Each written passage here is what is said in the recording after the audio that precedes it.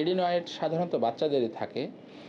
এটি দশ বছর, বারো বছর পর্যন্ত আস্তে আস্তে বৃদ্ধিপ্রাপ্ত হয় এবং এক সময় পনেরো বছরের ভিতরেই কিন্তু এডিনয়েডটা আবার ইনভলিউশন হয়ে এটা শেষ হয়ে যায়। কখনো কখনো আঠারো বছর পর্যন্ত এডিনয়েড পাওয়া যায়। এডিনয়েড হলো একটা লসিকা গ্রন্থি এটা হলো একটা লিমফয়েড অর্গান, সেটি হলো নাকের পিছনে অবস্থান করে। তালুর জাস্ট পিছন বরাবর টনসিলের সাথে একটা রিং আকারে থাকে।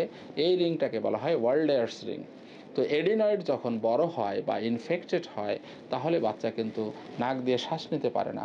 নাক দিয়ে শ্বাস নিতে না পারার কারণে রাতের বেলা সে হা করে ঘুমায় এবং নাক ডাকতে থাকে। অনেক নাক ডাকতে থাকে, অনেক শব্দ করে। দিনের বেলায় তার সর্দি, ঠান্ডা সবসময় লেগে থাকে। এই সর্দি, ঠান্ডা লাগতে লাগতে তার সাইনোসাইটিস ডেভেলপ করে এবং এই ঠান্ডা সর্দি এবং নাক বন্ধ এবং সাইনোসাইটিস থেকে একসময় কানে ইনফেকশন হয় এবং কানেও কিন্তু বধিরতার সৃষ্টি হতে পারে। এডিনয়েড বাচ্চাদেরই হয়, অনেক বাবা মারা বলেন যে, চিকিৎসায় যেহেতু ভালো হলো না, অনেক স্প্রে দিলাম, অনেক ওষুধ খাওয়ালাম, চিকিৎসায় যেহেতু ভালো হলো না, পনেরো বছর পর্যন্ত অপেক্ষা করি, তারপরে আমরা এটির অপারেশন করে নেব। না, ডাক্তার যদি আপনাকে অপারেশন করতে বলে, আপনি অপারেশন করে নিন, কারণ এই রোগটা কিন্তু বাচ্চাদেরই হয়, সাধারণত এই রোগটি বড়দের হয় না।